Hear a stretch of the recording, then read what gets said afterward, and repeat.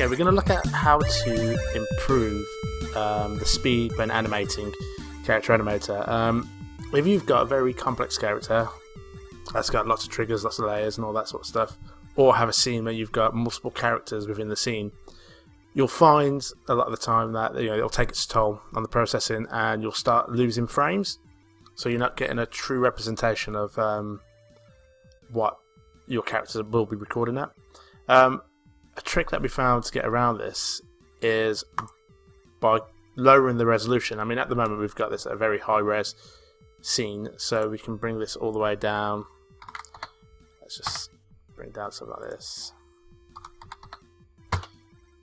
And then we need to go to each character and just scale and reposition.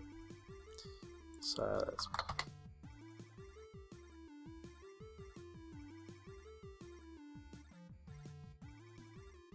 Now, if you notice, if we try and do any animations, we're not losing any frame rates. Uh, so, this way we can do our recordings, and so, what do we want to do with the character? Record, stop, play back, that all runs fine.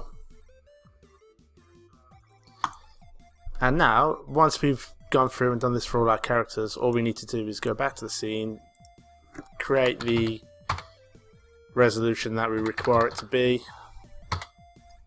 and rescale up the characters.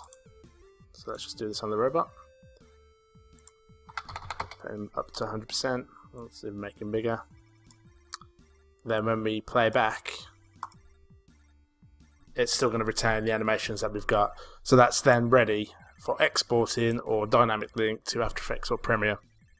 So basically, do all your animations at the low resolution, retain your frame rate, and then once you're happy with all that, bring everything back up, rescale, and export out. We find that's a good tip to improve workflow. Hope that helps.